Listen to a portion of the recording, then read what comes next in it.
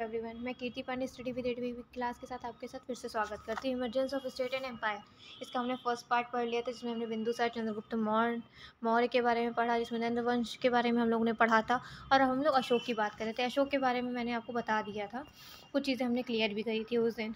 मैं बता दूँ कि जो अशोक के शिलालेख थे, जो प्रथम जो हमारा फ़र्स्ट शिलालेख है, उसके बारे में भी हम इसमें जानेंगे। अब कि सच जिसमें उन्होंने बोला था कि सभी मनुष्य मेरी संतान है, जिस प्रकार मैं अपनी संतान को के लिए यह लौकिक एंड परलौकिक कल्याण की कामना करता उसी प्रकार अपनी प्रजा के लिए भी करूँगा, जो कलिंग लेख में मिला है, ठीक है? सभी पंथों के मध्य आत्मनियंत्रण और मन की पवित्रता होनी चाहिए, इनके सातवें अभिलेख में बताया गया था। मैं एक और चीज़ बताना चाहूँगी इसमें अभी आप आगे भी पढ़ेंगे कि जो हमारा जेम्स प्रिंसिप है, जो अठारह सौ सैंतीस में आते हैं उन्होंने ही अशोक के अभिलेख को पढ़ने में सफलता प्राप्त की थी। ठीक है, अशोक की पहचान प्रियदशमी के रूप में हुई थी और कलिंग का युद्ध क्या था इसके बारे में भी आप जानेंगे। कलिंग युद्ध आप जानते हैं कि अपने राज्याभिषेक के आठवें वर्ष में अशोक ने कलिंग पर आक्रमण किया था, उसे जीत जीत भी लिया था। लेकिन उसने अपने कथन के अनुसार युद्ध में एक लाख लोग मारे गए और एक लाख पचास हज़ार बंदी बनाए इस युद्ध में अत्यधिक संख्या में नरसंहार हुआ था, जिसके कारण अशोक का हृदय परिवर्तन हो गया था। और उन्होंने कलिंग युद्ध और उसके जो रिजल्ट्स आए थे, उसके बाद ही अशोक ने तेरहवें अभिलेख से विशेष सूचना प्राप्त हुई थी, जिसमें उन्होंने अपनी धम्म नीति के अनुसार, ठीक है, अशोक ने बौद्ध धर्म को अपना लिया और अपनी धम्म यात्रा शब्द से भी मिलता है, ठीक है। और यहाँ पे हम पढ़ेंगे अशोक का थर्ड जो बौद्ध का तीसरा सम्मेलन संगीति का आयोजन करवाया था। अशोक ही उसके थे। धर्म प्रचारक केवल दक्षिण भारत में नहीं, बल्कि श्रीलंका, वर्मा आदि देशों में भी भेजा गया था। ठीक है? अशोक ने नारी सही समाज के लिए धम्म महापात्र महाल किए थे। ठीक है? अशोक का धर्म संकुचित नहीं था। इसका उपदेश था कि लोग माता पिता की आज्ञा माने, ब्राह्मणों और बच्चों को आदर करता था, दासों और सेवकों के प्रति दया। अशोकों ने लोगों को जियो और जीने दो का भी पाठ पढ़ाया था। यही सब चीज़ें अब हमें क्लियर करनी है यहाँ पे। ठीक है? हम लोग ने कल कहाँ तक क्लियर आउट किए थे अपने? हम लोगों ने अपना कल किया था। और वन मिनट देखते हैं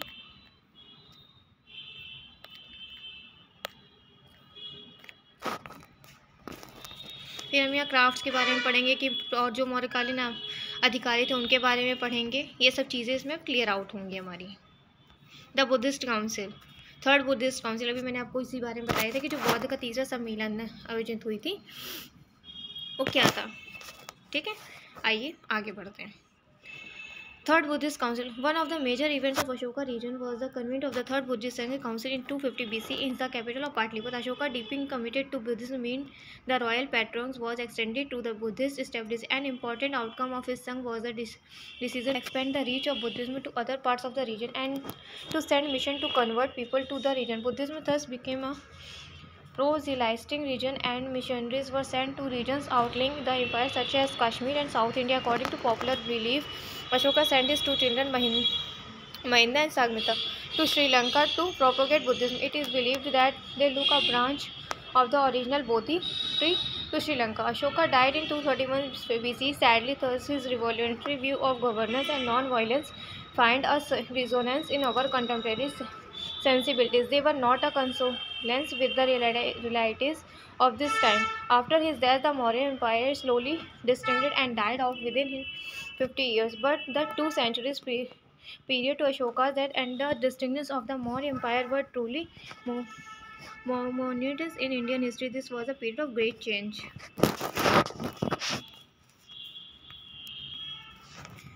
देखिए, जो हमारे इतिहास में अशोक का स्थान है ना, वो बहुत ही सर्वोपरि थी, क्योंकि अशोक ने बहुत ही उपलब्धि हासिल करी थी। और और ज़ाहिर सी बात है कि प्राचीन विश्व के इतिहास वो महान धर्म प्रचारक, शासक भी कहे जाते थे। अशोक ने देश में राजनीतिक एकता भी स्थापित की थी। उसने एक धर्म, एक भाषा और प्राय एक लिपि के सूत्र में संपूर्ण देश को बांधा था। उन्होंने यूनानी प्राकृत और संस्कृत जैसी भाषाओं और विविध धार्मिक संप्रदायों को भी सम्मिलित किया था। ये सब चीज़ें भी इसमें आगे मिलती जाएँगी। The consolidation of a state existing over nearly two thirds of the subcontinent had taken place with formalise administration development of bureaucratic institution, and economic expansion, in addition to the rise of new heterodox religions and philosophies that questioned the established orthodoxy. The Mon state and the polity. The major areas of concern for the Mon state were the collection of taxes and revenue to the state and the administration of justice in relation to the maintenance of internal securities and defense against external aggressions. This required large and complex administrative machinery and institutions. Greek historians taking their land, their lead from Megasthenes describes the Mauryan state as a centralized state when we found infer from the descriptions as a centralized state in that a uniform pattern of administration was established throughout the very large area of the empire. But given the existing state of technology, its communications and transport, a decentralized administrative system had to be placed in their place. The bureaucratic setup covered a hierarchy of settlements from the village to the towns, provincial capitals, and major cities. The bureaucracy the bureaucracy inbuilt and required an efficient system of revenue collection since it, since it needed to be paid out of taxes collected. Equally, the very large army of the Maurya Empire could be maintained only with the revenue raised through taxation. The large bureaucracy also commanded huge salaries. According to the Arthashastra, the salary of chief minister, the Purohita, and the army commander was 48 pana panas and the soldiers received for 500 panas. If we multiply this by the number of infantry and cavalry, we get an idea of enormous resources needed to maintain the army and the administrative staff. Arthashastra Perhaps the most detailed account of the administration is to be found in the Arthashastra, though the work itself is now dated to a few centuries later. However, it must be remembered that the Arthashastra was a prescriptive text which laid down the guidelines guidelines for good administrative. If we add to this the information from ashoka's edicts and the work of megasthenes we get a more comprehensive picture of the mauryan state as it was. Provincial administration. At the head of administration was the king. He was assisted by a council of ministers and a purohitas priest who was a person of great importance and secretariat known as Mahamaitris, the capital region of Patliputra, was directly administered. The rest of the empire was divided into four provinces based at Suvarnagiri near Kurnool in Andhra Pradesh, Ujjain, Avanti, Malwa, Takshila in the northwest and Toshali in Odisha in the southeast. The provinces were administered by the governors who were usually royal princes in each region. In each region, the revenue and judicial administration and the bureaucracy of the Mauryan state was replicated to achieve a uniform system of governance. Revenue collection was the responsibility of a collector general Samaharta, who was also in charge of exchequer that he was in effect like a minister of finance he had to supervise all the provinces for uh, fortified towns mines forests trade routes and other which were the sources of revenue the treasurers were responsible for keeping a record of the tax revenues the accounts of each department had to be presented jointly by the minister to the king each department had a large staff of देखिए प्रमुख मौर्यकालीन कुछ अधिकारी हुए थे जिसमें मरामात थे ये योग्य अधिकारियों का समूह थे। अग्रमात थे, प्रधानमंत्री का पद कहा जाता था। इसे सौवर्णिक थे, टकसाल का प्रमुख अधिकारी थे। समाहर्ता कर निर्धारण का सर्वोच्च अधिकारी था। धम महामात्र समाज में सामंजस्य की स्थाप, स्थिति को बनाए रखता था। स्त्री महामात्र महिलाओं के नैतिक आचरण को देखने वाले थे। इस तरीके के काफ़ी स्टाफ थे हमारे प्रमुख मौर्यकालीन अधिकारी में। Superintendents and sub subordinate officers link to the central and local government district and village administration. At the next level of administration came the district village and towns the district was under the command of a Sthanika, which officials known as Gopas were in large of 5 to 10 villages. Urban administrations were handled by a Nagrika. Villages were semi-autonomous and were under the authority of a Brahmini, appointed by the central government and a council of village elders. Agriculture was then, as it remained down the centuries, the most important contributor to the economy, and the tax and agriculture produce constituted the most important sources of revenue. Usually, the king was entitled to one-sixth of the produce produced. In reality, it was often much higher, usually about one-fourth of the produce. Source of revenue. The Arthashastra recommended comprehensive state control over the agriculture production and marketing with warehouse to store agriculture products and regulated marks in other to maximize the revenues from the most important sector of the economy. Other taxes included taxes on land, on irrigation, if the sources Sources of irrigation had been provided by the state taxes on urban houses, customs and tolls on goods transported for trade and profits from coinage and trade operations carried on the on by the government's land owned by the king, forest mines and manufacture and salt on which the uh, state held a monopoly were also important sources of revenue. Judicial administration. Judicial was administered through courts which were established in all the major towns. Two types of courts are mentioned.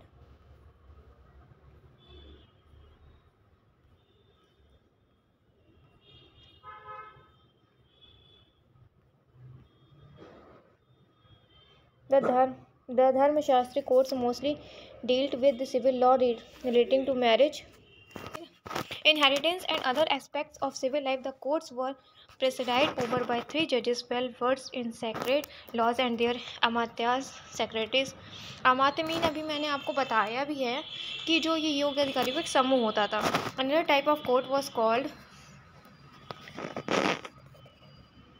Kantaka Shodhana context shown the removal of thrones also presided over by the three judges and three amats. The main purpose of the th uh, of these courts was to clear the society of antisocial elements and various types of crime, and it functioned more like the modern police and relied on a network of spies for information about such antisocial activities. Punishments for crimes were usually quite severe. The overall objects of the judicial systems as it evolved was to extend government control over most aspects of ordinary life. Ashoka's dharmic state. Ashoka's rule give us as alternative model of a righteous king and just state. He instructed his officially the Yuktas, subordinate officials, Rajuks, rural administration and Pradeshaks, head of the district, to go on throws every five years to instruct people in Dham. Major Rock Edict. Ashoka's injunctions to the officers and city Magistrates stressed that all the people were his children and he voiced his people what he wished for his own children that they should obtain welfare and happiness in this world and the next. These officials should recognize their own responsibilities and strive to be impartial and see it to it that men were not imprisoned or tortured without good reason. He added that he would send an officer every five years to verify if his instructions were carried out. Kalinga wrote again. Ashoka realized that an effective ruler needed to be fully informed about what was happening in his kingdom and and his kingdom instead instead that he would be advised and informed promptly wherever he might be major of edict he insisted that all religions should coexist and his and the sixth of all religions were honored providing medical care should be one of the function of the state the emperor ordered hospitals to be set up to treat human beings and animals preventing unnecessary slaughter of animals and showing respect for all living beings was another recurrent theme in his edicts in ashoka's edicts we find an alternative human and empathic model of governance. The edicts stress that everybody, official as well as subjects, act right, righteously following Dhamma.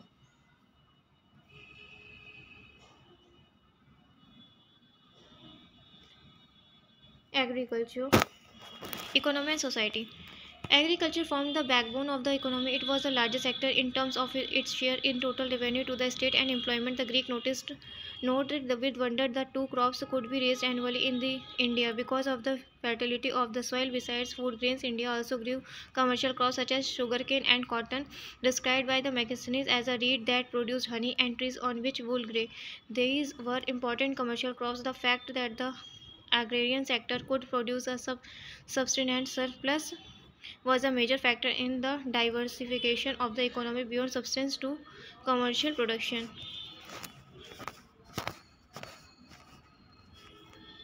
Crafts and goods. Many crafts producing a variety of manufactures flourished in the economy. We can categorize the products as utilization or functional and luxurious and ornamental spinning and weaving especially of cotton fabrics relying on the universal availability of cotton throughout India were the most widespread occupations outside of agriculture. A great variety of cloth was produced in the country ranging from the coarse fabrics used by the ordinary people for everyday use to the very fine textures worn by the upper classes and the royalty. The Arthashastra refers to the region producing specialized textiles Kashi, Banaras, Benga, Bengal, Kamrupa, Assam, Madurai, and many others. Each region produced many di distinctive and special, specialized varieties of the fabrics. Cloth em embroidered with gold and silver was worn, worn by the king and members of the royal court. Silk was called known and was generally referred to as Chinese silk, which also indicates that extensive trade was carried on in the Maurya Empire. Metal and metal works were the great of importance, and the local metal workers worked with iron, copper, and other metals to produce tools. Implements, vessels, and other utility items. Iron smelting had been known for many centuries, but there was a great improvement in technology after about 500 BC, which made it possible to smelt iron in uh, furnace at very high temperature. Archaeological finds show a great uh, qualitative and quantitative improvement in iron production after this date. Improvement in iron technology had widespread implications for the rest of the economy. Better tools like axes made more extensive clearing of forests possible for agriculture. Better plugs could improve agriculture processes. Better and better nails and tools improved woodwork and carpentry as well as other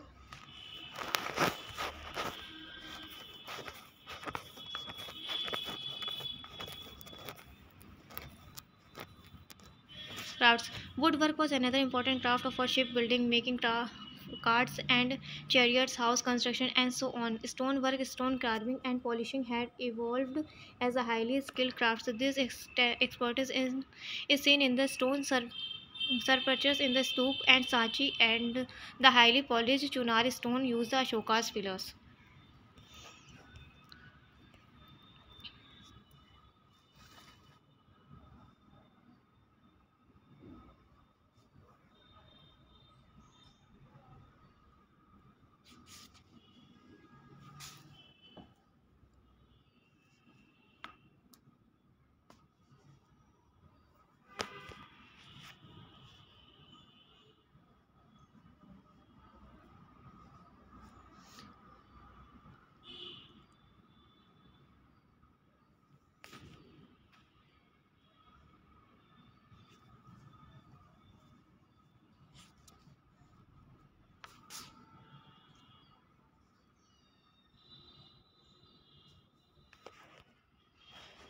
A whole range of luxury goods was produced including gold and silver articles, jewelry, perfumes and carved ivory. There is evidence that many other products like drugs and medicines, pottery, dyes and gums were produced in the Maurya Empire. The economy had thus developed far beyond substance production to a very Uh, sophisticated level of commercial craft production. Crafts were predominantly urban-based hereditary occupations and sons usually followed their fathers in the practice of various crafts. Craftsmen worked primarily and individuals through royal workshops for producing cloth and other products also existed. Each craft had a head called pamuk, pamuk or leader, and a jesht or elder was and was organized in a seni, senior guild so that was the institutional identity so suppressed uh, suppressed the individual in craft production disputes between Srinas were uh, resolved by a Mahas and this ensured the smooth functions of craft production in the cities. Trade. Trade or exchange becomes a natural concomitant of economic diversification and growth production of a surplus beyond substances in uh, futile unless the surplus has exchange value. Since the surplus has no use value when substance needs have been met thus as the economy diversified and expanded exchange becomes an important part of realizing the benefits of such expansion. Trade takes place in a hierarchy of markets ranging from the exchange of goods in a village market between villages and towns within our district across cities in long distance over trail overland trade and across borders to other countries. Trade also need needs a conducive political climate as well provided by the Maurya Empire which is which ensured peace and stability over a very large area. The rivers in the Gangetic Plains were major means of transporting goods throughout uh, northern India. Goods were transported further west overland by road. Roads connected the north of the country to cities and markets in the southeast and in the southwest passing through towns like Vidisha and Ujjain. The northwest route linked the empire to Central and Western Asia. Overseas trade by ships was also known as Buddhist Jatak. Tales are referred to the long voyage undertaken by merchants. Sea-borne trade was carried on the Burma and the Malay archipelago and with Sri Lanka. The ships, however, were probably quite small and might have used the cosolite.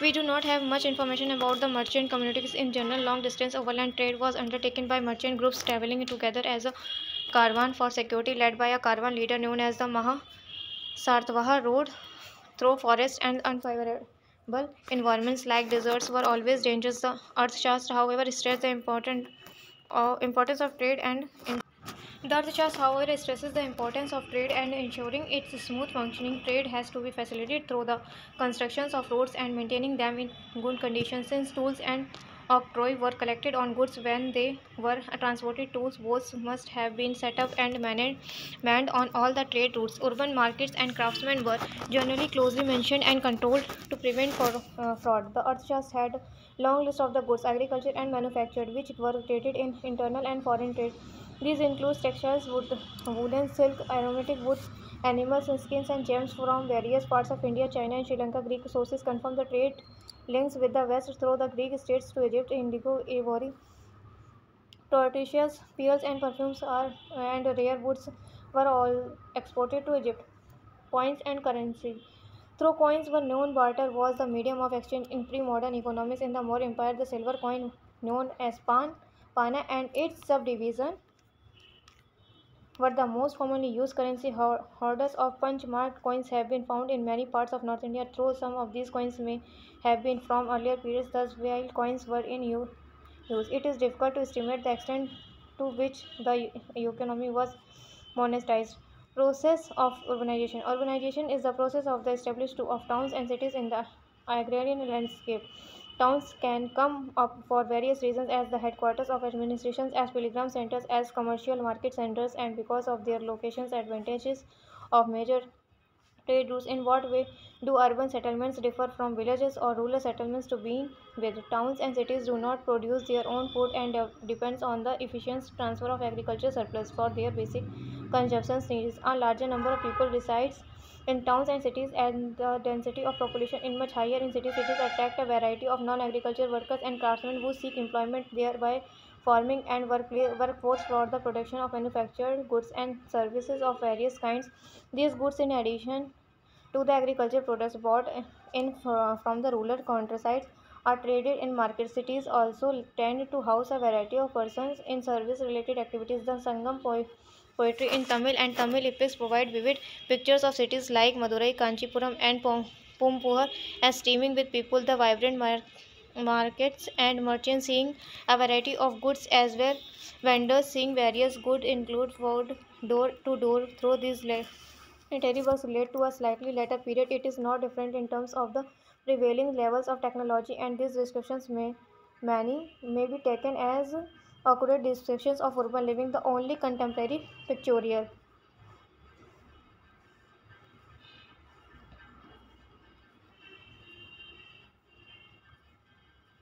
Uh, representation of cities is found in the sculpture sculptures in Sanchi, which portray royal possessions and cities, are seen to have roads, a multitude of people, and multi-stored buildings crowded together.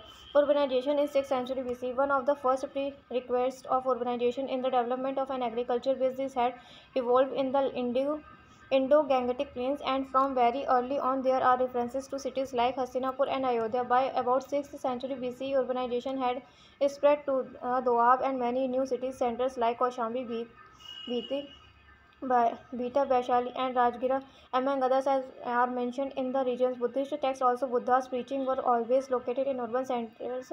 Cities developed primarily because of the spread of agriculture and wet rice cultivation, in particular in the Doab region. After the marshy land was drained and reclaimed for cultivation, the fertile soil and plentiful availability of water from the perennial rivers made it possible to raise even two crops of rice and the production of a large agricultural surplus to feed the cities. The improvements of iron technology also had an impact on economic life both in rural and urban areas. As Magad grew, many regional centers like Ujjain were also incorporated into the empire. Housing and town planning. Towns were often located along the rivers, presumably for ease, ease to access to the transportation. These were surrounded by mounds, moats as rampart to provide defensive protection. They were always open to attack since treasures holding government revenue were housed in them. In addition to the fact that as trading centers, the local people and merchants were also wealthy as the towns became more prosperous. The quality of the houses, which were built of mud bricks and even of fire bricks, improved. Towns also had other facilities like drains, ring wells, and mud pits. Tax, uh, uh, testifying to development of the civic eminence and the san- sanitization ex- excavation from the Mauryan period shown that the standard of living had improved as compared to the earlier period. The houses were built of bricks and the cities had ring wells and soak pits. There was a quantitative increase in the use of iron and the variety of iron art city of Patliputra. Patliputra, uh, Patliputra was the great capital city of the Maurya Empire. It was uh, described as a large and wealthy city situated at the confluence of the Ganga and Son rivers, as stretching in the form of the parallelogram. It was more than 40 kilometers in length and about two, one, two and one half kilometers wide. It was protected by an outer wall made of wood with loopholes for shooting arrows at enemies. These were the 64 gates of the city and 550 watch together to wear. There was a wide and deep moat outside the wall which was fed by water from the rivers which served both as a defense and an outlet for sewage. There were many grand places, places in the city which had a large population. The city was administered by a corporation of 30 members. Ashoka added the magnificence of the city was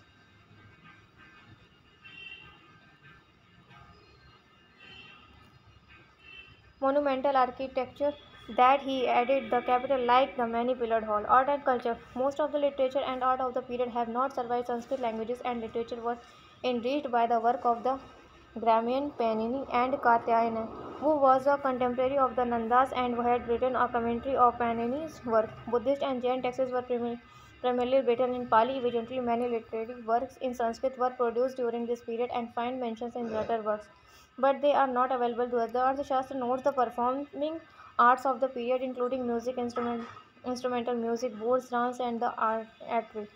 The extensive productions of crafted luxury products like jewelry, ivory, crown and woodwork and especially stones carving should all be included as products or modern art many religious caste and communities live together in harmony in the modern society this is little mentions any over dissensions or dispute among them as in many regions of the एटीरिया including ancient Tamil Nadu courtesans were according a special place in the social hierarchy and their contribution were highly valued summary जिस chapter की summary आप समझ लीजिए कि क्या है? Ganga Sang's course of time because the large Mahajanpadas and the 16 kingdoms Magad eventually emerged as the most powerful. The first known ruler of Magad was Bimbisar, followed by his son Ajashatru. Mahapadmanand started the Nanda dynasty. The invention of northwest India by Alexander in 326 BC opened up the trade with the west. After the death of Alexander, Chandragupta founded the Maurya Empire. The three no notable Mauryan rulers, Chandragupta Maurya, Bindusara and Ashoka, established in a centralized state. The, the system of Maurya administration came to the light through the accounts of Arthashastra and Indica. Maurya Empire set in a new phase in India history as trade and commerce. Commerce grew mentioned during this period. Maurya Empire continued the earlier tradition of consolidation of the empire the truly revolution change that was attempt was ashoka exhortation to his official and people to follow dhamma absorb violence and a lead moral life Maurya empire marked a distinct phase Indian history with significant advance in technology and economic and social development and created the framework for a large सेटरी administration state अब देखिए इसे, इसमें आपको timeline दिख रही होगी। Notable events हैं and years हैं। Invention of Cyrus empire of Persia है। Five thirty five thirty B C में Nandas establish their empire in Magadha three sixty two B C में होता है invention of Alexander three twenty six B C में हुआ था, Chandragupta founding the Maurya empire three twenty one B C में हुआ था। Defeat of Seleucus by Chandragupta three zero three hundred one B में हुआ था। बिंदुसार सक्सीजिंग चंद्रगुप्त तो two ninety seven B C में। Third Buddhist Sangha convey convented by Ashoka two fifty में हुआ था और death of Ashoka two thirty one में हुआ था। देखिए, मैं बता दूँ कि जो अशोक के स्तंभ है, वो ईरानी एवं यूनानी कला से प्रभावित है, ठीक है? अशोक के लाट पर जिस प्रकार की पशु आकृति बनी थी, वो हड़प्पा की पशु आकृतियों की परंपरा से मिलती जुलती है। ठीक है? और जो लोक कला की इसमें बात करते हैं तो मौर्यकालीन मूर्ति विशेष उल्लेखनीय परखम मथुरा से प्राप्त यक्ष की मूर्ति, पटना से प्राप्त यक्ष की दो मूर्तियाँ दीदारान से प्राप्त चामर ग्रहणी यक्षों की मूर्तियाँ भी प्राप्त हुई हैं इस तरीके की। ठीक है? इस तरीके की काफ़ी चीज़ें रही हैं हमारे पास। इतिहासकार इसमें हुए मौर्य साम्राज्य में। ठीक है? मौर्य साम्राज्य के पतन के कारण क्या हुए थे? भाई धार्मिक नीति, ब्राह्मण विरोधी नीति के कारण हुए थे अहिंसा एवं शांतिप्रिय नीति थी, आर्थिक कारण संकट ग्रस्त अर्थव्यवस्था के कारण उसे कमज़ोर उत्तराधिकारी रहे, इस कारण काफ़ी चीज़ें रही हैं, ठीक है? अशोक के कलिंग अभिलेख से प्रकट होता है कि प्रांतों में हो रहे अत्याचारों से बहुत चिंतित रहता था। उसने महामात्रों को आदेश दिया था कि समुचित कारण के बिना वो नागरिक को सताए नहीं, ठीक है? आपको बता दें कि इस तरीके काफ़ी चीज़ें रही हैं। बौद्ध संस्कृति का विस्तार भी हुआ था, राज्य पद्धति भी हुई थी, जिसमें हमने बताया मुद्रा का उपयोग कैसे होता था, तांबे के सिक्के के भी चार प्रकार रहे हैं इसमें, वास्तुकला, कला और वास्तु शिल्पकला मौर्यों को बहुत बड़ा योगदान रहा, जिसमें हमने अभी आर्ट एंड कल्चर्स के बारे में पढ़ा, जिसमें आपको मैंने बताया भी कि काफ़ी चीज़ें इन लोगों ने डेवलप कर ली थी। ठीक है? इसका काफ़ी चीज़ें इनको मिली थी। आई होप आप लोग समझ में आ गया wishing you all the best thank you so much